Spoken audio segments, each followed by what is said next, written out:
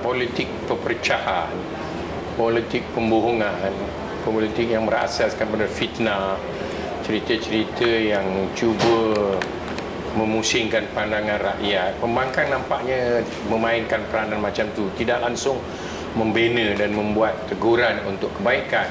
Jadi pada pada saya ini menunjukkan mereka tak ada modal. Mereka sudah bankrupt dengan modal. Caranya adalah serangan pribadi membuat cerita-cerita yang tak benar. Kepada saya ini adalah sesuatu yang rakyat tidak mudah ditipu buat masa sekarang ni. Saya tengok rakyat lebih prihatin rakyat tahu apa yang kerajaan lakukan dan apa Barisan Nasional lakukan.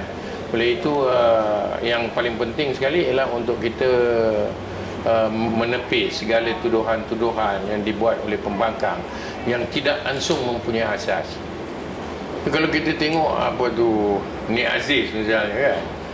Cara cara dia berpolitik dia berubah-ubah. Bukan dia bercakap berasaskan kepada agama. Dia bercakap untuk meraih populariti dan keuntungan politik untuk mendapat sokongan daripada orang-orang bukan Melayu.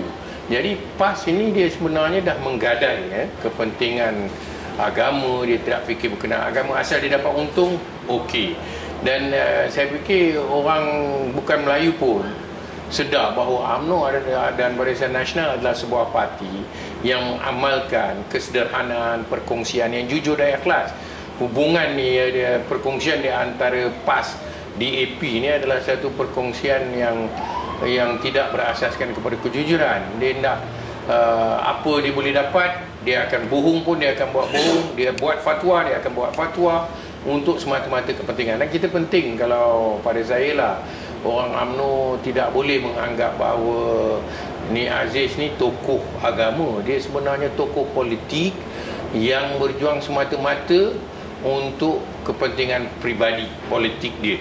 Dan uh, dia tidak menguntungkan perjuangan secara keseluruhan. saya kita mesti mendedahkan siapa sebenarnya ni Aziz. Apakah perkara yang telah dilakukan semenjak kerajaan PAS memerintah di Kelantan apakah pembangunan agama yang dilakukan oleh kerajaan PAS di Kelantan? Tidak ada sesuatu yang mereka lakukan yang meninggikan dan meningkatkan kedudukan pembangunan Islam atau agama Islam. Dan di peringkat dunia pun orang menerima bahawa AMNO ni Barisan Nasional dia memperjuangkan kedudukan agama Islam dan kita tidak mengenai ke, uh, mengenai kedudukan agama-agama lain tapi kita ada bukti dari segi membangunkan uh, bank Islam, uh, sistem keuangan Islam itu semua Barisan Nasional punya program.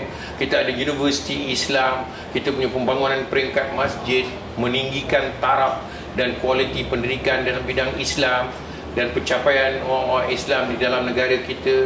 Jadi banyak yang bukan sahaja diterima di peringkat rantau tapi diterima di peringkat antarabangsa.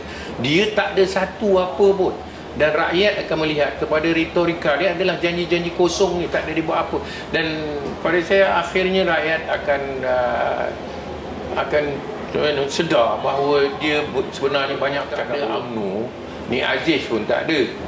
Berapa banyak anak-anak orang PAS yang telah menjadi mereka yang mempunyai kelayakan dan mempunyai pendidikan tinggi dengan universiti-universiti yang kita adakan dengan uh, institusi-institusi pendidikan tinggi yang kita adakan sekolah-sekolah biasiswa yang kita beri.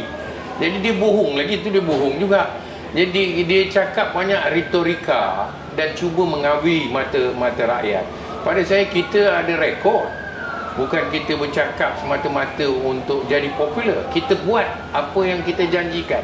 Dia tak buat apa yang dia cakap